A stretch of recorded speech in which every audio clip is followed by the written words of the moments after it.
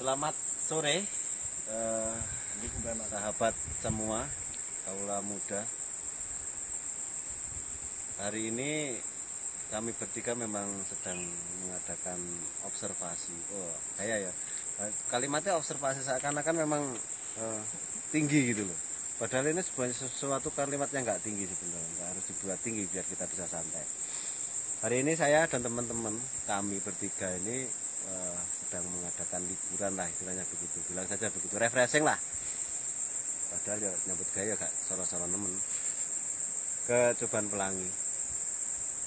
Ini kami mulai menuruni uh, jalan menuju air terjun yang masih kurang lebih sekitar satu kilo ke depan karena memang jalannya bukan karena lurus tapi memang belok-belok dan akhirnya mengakibatkan panjang dari jalan itu perlu uh, bisa kalian semua ketahui bahwasanya ya beginilah suasana di hutan Tuban Pelangi yang masih alami dan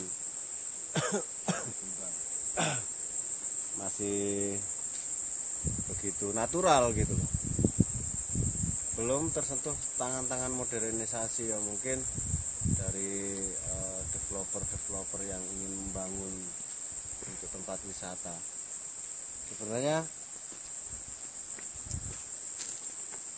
Tuban Pelangi itu sendiri adalah salah satu uh, aset atau tempat wisata yang dimiliki oleh Kabupaten Malang. Dari sekian banyak uh, air terjun air terjun yang ada di Malang. Mungkin yang yang lebih terkenal selain di situ ada eh, apa namanya Tuban Rondo atau yang lainnya Tuban Pelangi pun adalah salah satu dari air terjun yang dimiliki oleh Kabupaten